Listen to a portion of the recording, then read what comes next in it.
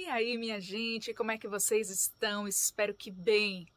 Esses sete fatores que nos impedem de viver o agora podem estar prejudicando a sua comunicação. O primeiro deles é a preocupação com o futuro. Quando a gente se preocupa com algo que ainda não chegou e chama isso de planejamento, a nossa fala vai ser mais acelerada e a gente dificilmente vai perceber o que o outro está falando, porque a gente já está pensando na resposta.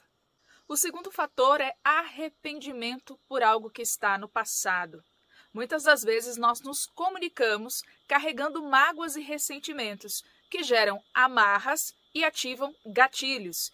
Isso faz com que a sua comunicação muitas das vezes não seja limpa. O terceiro fator é falta de presença mental. Se a gente está com a mente cheia, é que nem a janela do computador quando a gente está pesquisando. Várias janelinhas abertas, todas elas estão rodando ali no download, mas você não tem como estar em todas elas ao mesmo tempo. Portanto, escolha a janela. Senão, a sua fala pode ser prejudicada. Começa, mas não termina, porque um outro pensamento entrou no meio e você já nem sabe mais do que é que exatamente você estava falando. Quarto fator, sobrecarga no trabalho.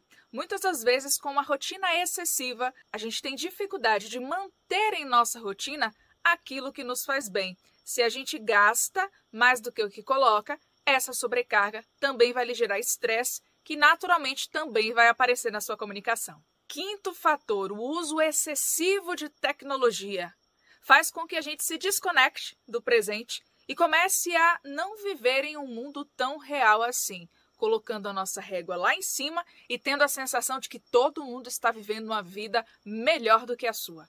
Sexto, distrações externas. Ruídos, barulhos, muitos estímulos ao seu cérebro, à sua visão, vão dificultar com que você, que já pode ter uma dificuldade em se concentrar, foque no que está acontecendo no aqui e no agora.